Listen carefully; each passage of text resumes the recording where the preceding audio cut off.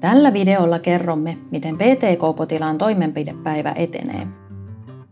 PTK eli fototerapeuttinen keratektomia on laserilla tehtävä toimenpide, jossa silmäkirurgi poistaa sarveiskalvolta samentunutta tai arpeutunutta kudosta laserilla ja kirurgisella instrumentilla.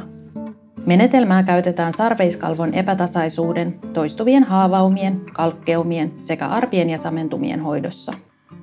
Toimenpide ei vaadi sinulta etukäteisvalmistautumista. Kun saavut toimenpiteeseen, silmistäsi otetaan sarveiskalvon valokerroskuvat sekä karttakuva, joista selviää sarveiskalvon muoto ja paksuus. Silmien kuvantamistutkimusten jälkeen lääkäri tutkii silmäsi mikroskoopilla ja tekee lopullisen toimenpidepäätöksen.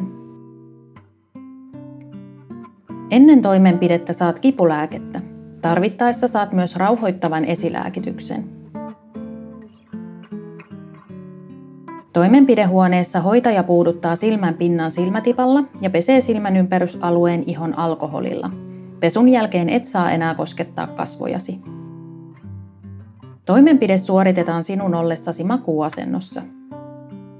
Kasvoillesi asetetaan leikkausliina ja silmäsi avataan luomen levittimen avulla.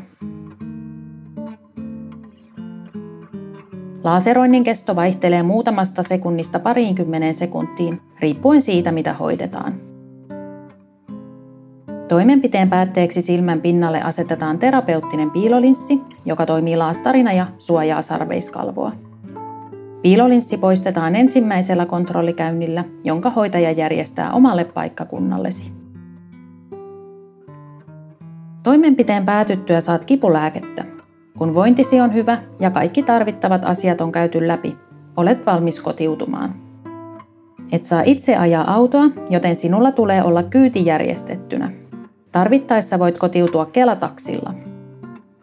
Toimenpiteen jälkeen sinun tulee välttää pesuveden joutumista silmään niin kauan kuin piilolinssi on silmässä. Voit mennä saunaan ja uimaan, kun piilolinssi on poistettu. Silmämeikin käyttöä tulee välttää viikon ajan. Käytä silmän suojakilpeä viikon ajan nukkuessasi. Fyysisesti raskasta liikuntaa tulee välttää viikon ajan, mutta kevyitä kotitöitä voit tehdä normaalisti.